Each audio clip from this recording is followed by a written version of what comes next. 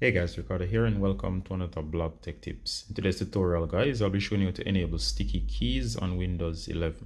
Now of course there are two methods to go about this. I'm going to show us, I'm going to first show you the easy method, then I'm going to show you the more um, time consuming method. Alright, so the first thing you want to do guys is go ahead and um, locate your shift keys. And this is the easier way. You're going to press the shift key five times. That's one, two, three, four, five. There you go it indicates that um, sticky keys do you want to turn on sticky keys? All right so that's the quick way to go about it. Just press the shift keys five times. And of course it should be enabled. You can simply interact with the notification i'm going to say no. Um, in case you want to do it the traditional method by going through the menus it's as simple as hitting start. Once you hit start go to settings. Once you're in settings guys as seen here go down to accessibility. And of course in accessibility you should look through.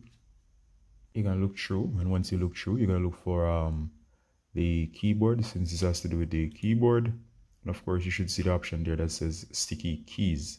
And of course you can turn on on the feature or you could just go ahead and um, turn off the feature.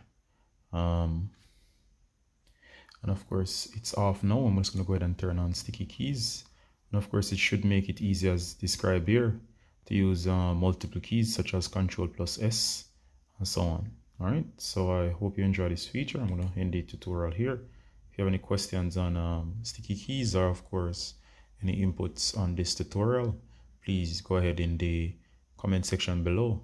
And as always, guys, Ricardo from Blog Tech Tips saying bye until next time. Bye.